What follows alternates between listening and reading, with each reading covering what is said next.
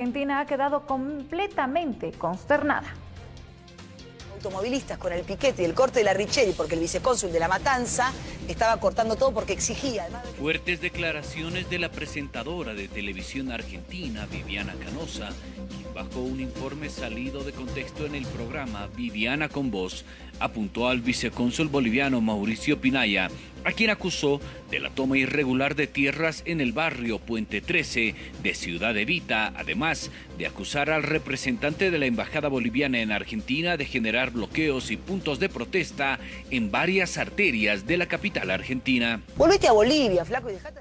ante este hecho, la autoridad diplomática de nuestro país, en contraparte, aseguró que estas declaraciones serían malintencionadas y que faltan a la verdad. Totalmente discriminatorias xenófogas, acusando a un representante del pueblo boliviano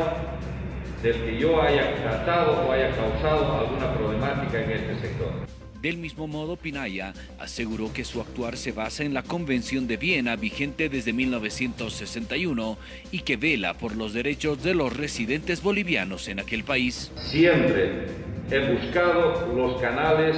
de conversación ante las dificultades que atingen a la colectividad boliviana. Mi tarea fue reunirme con autoridades del municipio de La Matanza para hallar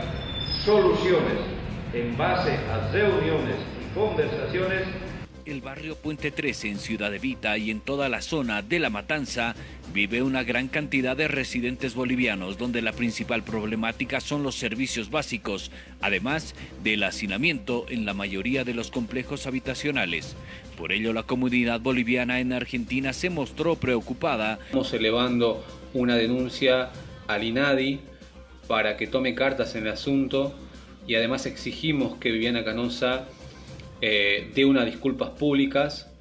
y que se tomen también acciones contra el medio A24 por permitir que se, hable, que se hablen de esa manera con contenidos de odio. Viviana Canosa, de 51 años, fue criticada durante la pandemia por afirmar que el consumo de dióxido de cloro sirve como tratamiento contra el COVID-19, tomando de esa sustancia en uno de sus programas. Esto a pesar de que la Organización Mundial de la Salud desmintió esta hipótesis y advirtió que su consumo puede resultar perjudicial para la salud. También ha expresado que los hisopos utilizados en las pruebas para diagnosticar el coronavirus tienen metales usados con el objetivo de que el paciente en cuestión siempre arroje un resultado positivo, algo que por igual ha sido desmentido.